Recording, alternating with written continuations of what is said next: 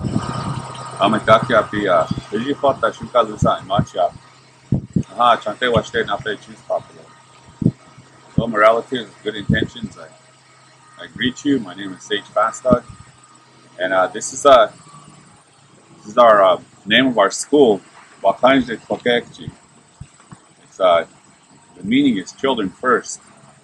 But the concept too is also um, student-centered learning, and one of our our, our medium um, way of giving instruction is through Lakota language. So that is why we have Lakoyapi Monspeoti.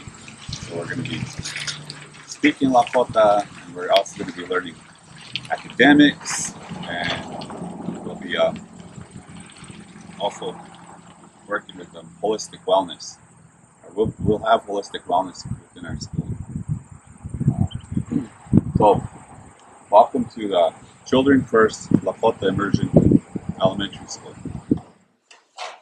why we're doing the Lakota um, immersion school, Wakanyeja Tokeyahci, is because majority of our fluent speakers are in uh, you know the late stages of 60s and 70s, and we've only identified you know two speakers under the age of uh, 30, and we haven't identified any speakers under the age of 18 on Rosebud Reservation.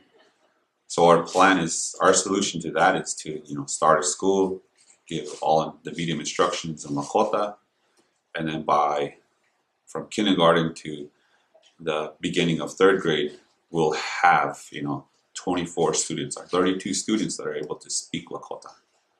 So that's our our solution and um, why we're doing this. So here here are some key long-term goals that you can expect from Wakanyeja Tokeyahci.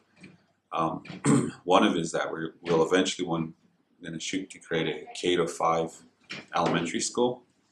The second one is we want to um, get our kids by third grade, at the start of third grade, is they'll be intermediate fluent speakers in Lakota.